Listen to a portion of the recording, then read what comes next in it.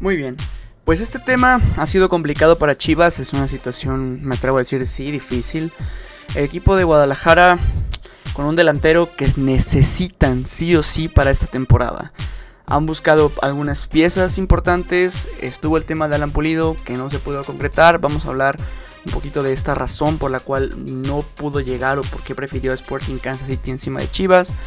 Vamos a platicar también, por supuestamente, eh, todo este tema del clásico. Yo creo que para cuando vean este video ya habrá sido el clásico, ya habrá información respecto al tema. Así que muchas gracias el día de hoy por estar aquí presentes en el canal. Y vamos a platicar hoy de este, de este tema. La verdad es que en Chivas se ha estado moviendo mucho eh, la situación y, les invitamos que si es la primera vez que están aquí en el canal, pues obviamente no se olviden de dejar su like, que no se olviden de comentar a quién les gustaría ver de delantero. Yo creo que es una muy buena pregunta y pues les agradecemos mucho el día de hoy que puedan estar por aquí.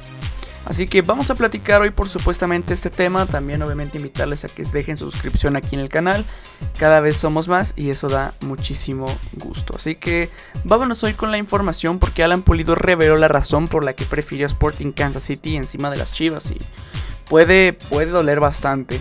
Así que de igual manera, si tú todavía no estás suscrito a este canal, pues te invitamos a que rompas el botón de suscripciones, que obviamente le des like a este video y pues te unas a la comunidad porque cada vez somos más y eso da muchísimo gusto. Así que bueno, el atacante que fue pretendido por el Guadalajara durante el mercado de fichajes decidió renovar con la escuadra de la MLS, pese a tener una promesa con Fernando Hierro, que esto ha dado de qué hablar.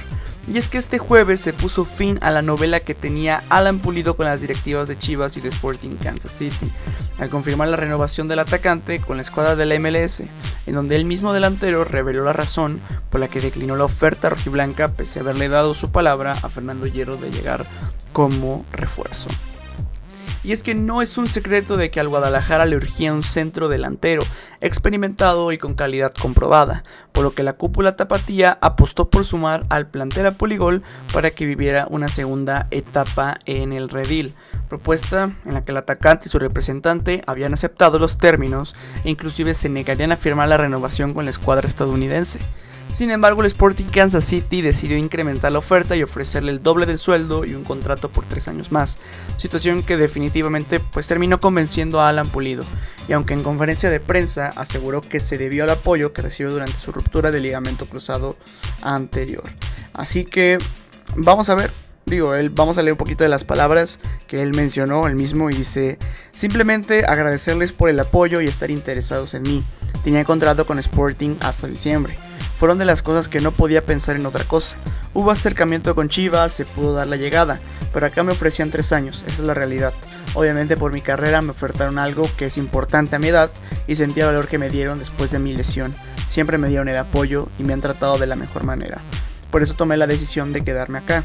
Siempre lo he comentado, si no renovaba con Sporting y regresaba a México, mi primera opción hubiera sido Chivas. Esa es la realidad por el amor y cariño que tengo al equipo. Y creo que es muy realista esta manera de ver las cosas. Digo, obviamente, eh, al menos en esta situación, creo que es evidente o es claro y, y, es concreto que el equipo necesita, necesita estructurar bien esta situación, ¿no?